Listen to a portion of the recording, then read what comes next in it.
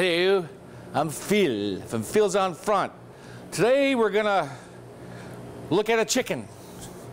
This is a fresh local chicken going by a local farmer.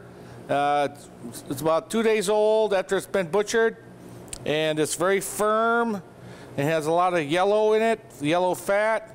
It's very, very uh, fleshy and very, very fresh. So I take a knife like this and I bring out the burrs and the knife for the steel. The first thing I do is I take and I separate the leg from the breast. I just cut on the skin. I just cut the skin out here until I reach the, uh, the joint there, cut that off. You got one leg right there. Then we, uh, we're gonna make some supreme breasts. We cut the, uh, the wings off. And then this is called my chicken wrestling match. Wrestling with a chicken. No cover charge. It Phil's on front with chicken wrestling. We just pull off the skin like this.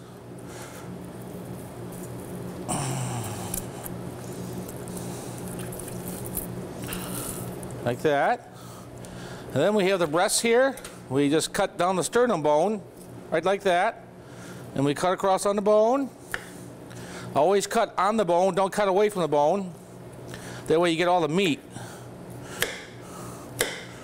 And you get down to the wishbone there, cut right at the, uh, at the wing joint. There's one breast there. This we save for stock, this and the skin. We save for stock to make uh, chicken soup out of or chicken stock. And then we have the breasts lined up like this. The chickens, the legs, and the wings. Now this is enough, like all this chicken right here, it's enough meal for me, because I like chicken, I'll eat the whole thing, but also you can feed four people with it. Four small people, because everybody loves chicken.